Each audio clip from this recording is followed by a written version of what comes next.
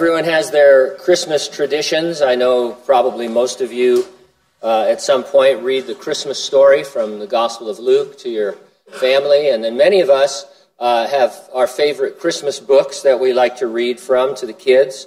Uh, one that is our favorite is The Tale of Three Trees, and so we've adopted this as our Christmas reading for our family as a church. Uh, and so I'm going to read to you The Tale of the Three Trees, and the illustrations are going to pop up. Uh, this is an old folk tale uh, retold by Angela Elwell Hunt. And it goes like this Once upon a mountaintop, three little trees stood and dreamed of what they wanted to become when they grew up. The first little tree looked up at the star, uh, stars, rather, twinkling like diamonds above him. I want to hold treasure, he said. I want to be covered with gold and filled with precious stones. I will be the most beautiful treasure chest in the world. The second little tree looked out at the small stream trickling by on its way to the ocean. I want to be a strong sailing ship, he said. I want to travel mighty waters and carry powerful kings. I will be the strongest ship in the world. The third little tree looked down into the valley below where busy men and busy women worked in a busy town. I don't want to leave the mountaintop at all, she said. I want to grow so tall that when people stop to look at me, they will raise their eyes to heaven and think of God. I will be the tallest tree in the world. Years passed. The rains came, the sun shone, and the little trees grew tall. One day, three woodcutters climbed the mountain.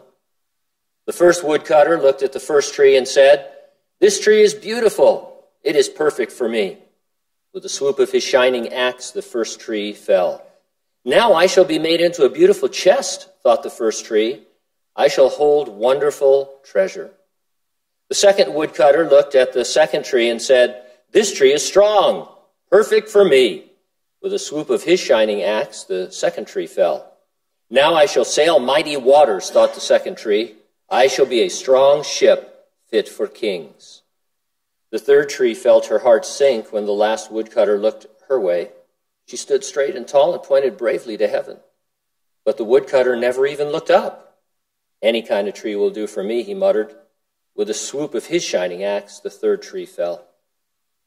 The first tree rejoiced when the woodcutter brought him to a carpenter shop. But the busy carpenter was not thinking about treasure chests.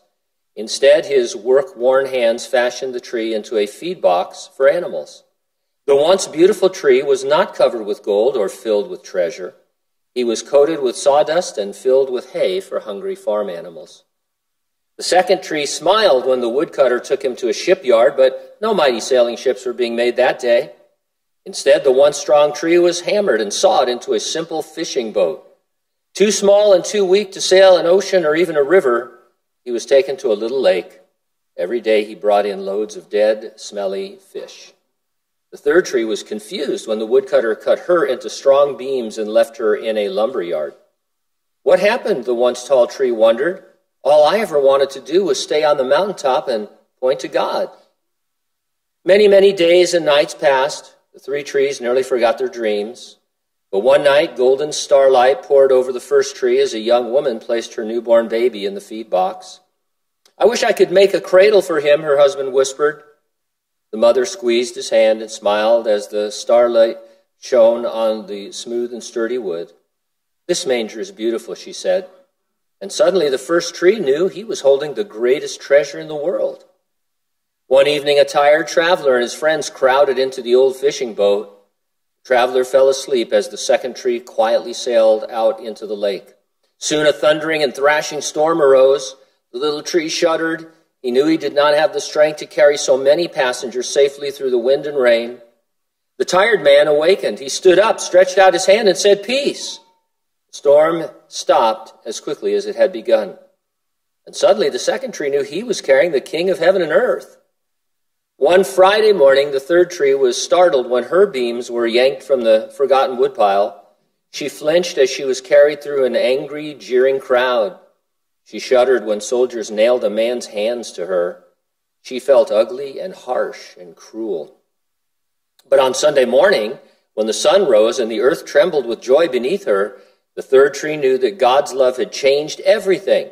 It had made the first tree beautiful, it made the second tree strong, And every time people thought of the third tree, they would think of God.